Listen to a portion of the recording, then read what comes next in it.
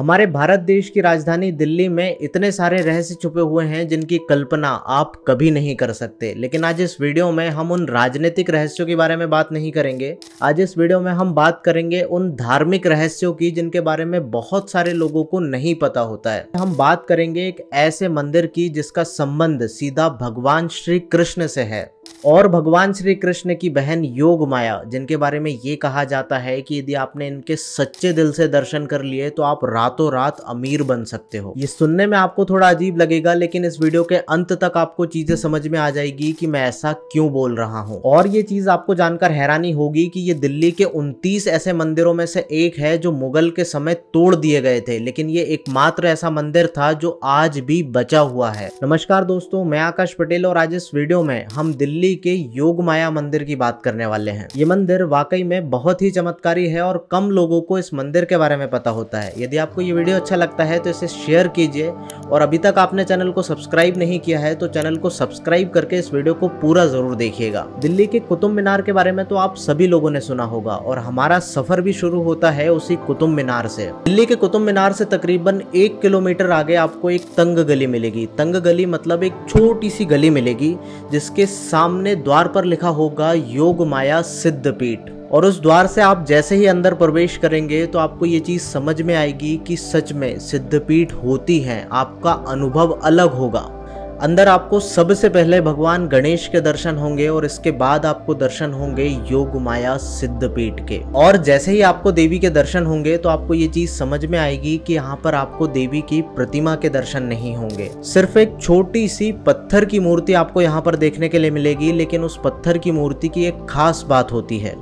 कि प्रतिमा के कभी भी आँखें नहीं खुली होंगी। ये सुनने में थोड़ा आपको अजीब लगेगा, लेकिन योग माया के बारे में ये कहा जाता है कि जब कंस ने इन्हें मारने की कोशिश की थी तो आँखें खुलने से पहले ही ये आसमान में चले गई थी। और आसमान से ही इन्होंने चमत्कारिक रूप से भविष्यवाणी की थी कि तू मुझे मारने आया है, लेकिन तुझे मारने वाला इस ज़मीन पर या इस धरती पर पैदा हो चुका है। चलिए, मैं आपको अब ये बता देता हूँ कि भगवान श्री कृष्ण से योग माया का संबंध बहन का कैसा है। जब कंस को देवकी की आठवीं संतान होने का पता चला तो वो उसे भी मारने के लिए जेल में पहुँच गया। लेकिन तब तक भगवान श्री कृष्ण को इस कन्या, यानी योग माया से बदल दिया गया था। और जैसे ही कंस ने इस कन्या को उठाया और पत्थर पर पटक कर मारने की कोशिश की तो ये कन्या देवी के रूप में प्रकट हो गई। और एक भविष्यवाणी हुई कि तू क्या मुझे मारेगा, तुझे मारने वाला आज प्रकट हो चुका है या जन्म ले चुका है। इसी तरीके से देवी का सिर यहीं रह गया और आकाश मार्ग से धड़ विंध्याचल की तरफ़ पहुँच गया।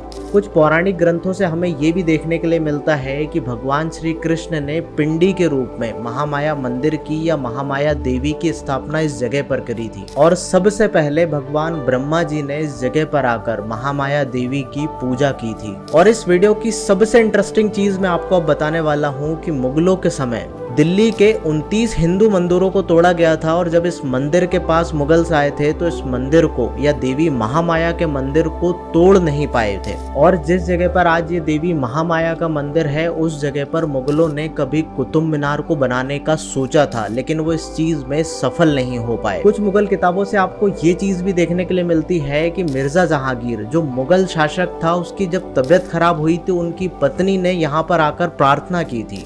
और ऐसा कहा जाता है कि देवी की चमत्कारिक शक्तियों से उसकी तबियत एकदम ठीक हो गई थी। चलिए मैं आपको अब अपने सबसे पहले पॉइंट पे लेकर चलता हूँ कि यदि आपने इस मंदिर के सच्चे दिल से दर्शन किए हैं तो आप कैसे अमीर हो सकते हैं और आपकी कैसी सारी समस्याओं का समाधान हो सकता है? देखिए, योग माया को तीन अलग अलग नामों से भी जाना जाता है। विंध्यवासिनी, एकांशना और महामाया। और महामाया देवी को नारायणी भी कहा गया है, जो वैभव परंपरा में संपन्न है। और देवी महामाया भगवान विष्णु की माया शक्तियों में सबसे मुख्य रूप से पहले नंबर पर कार्य करती हैं।